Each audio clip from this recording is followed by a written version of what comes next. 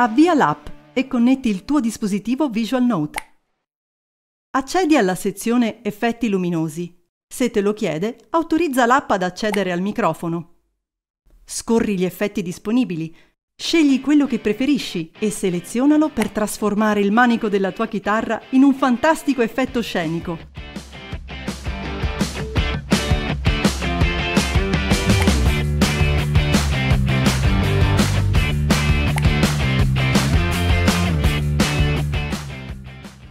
Puoi anche creare i tuoi effetti personalizzati.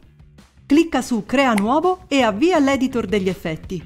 Puoi scegliere tra i colori singoli o multipli, le forme disponibili o le animazioni che preferisci.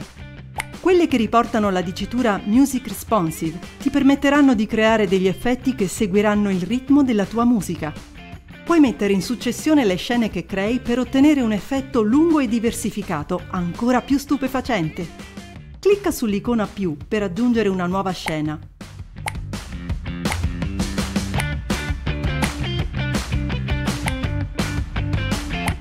Il numero che trovi sotto il frame è l'indicazione della sua durata. Clicca per modificarla.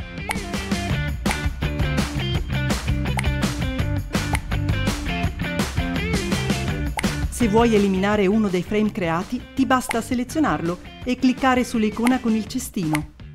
I numeri che puoi scorrere in basso a destra indicano le battute per minuto e ti consentono di impostare la velocità delle animazioni che non sono music responsive, per metterle comunque a tempo con la tua canzone.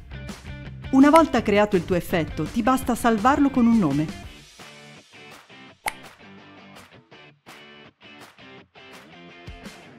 Lo troverai nella schermata principale degli effetti dopo quelli di default e indicato in blu. Ora potrai stupire il tuo pubblico attivandolo dall'app con un clic.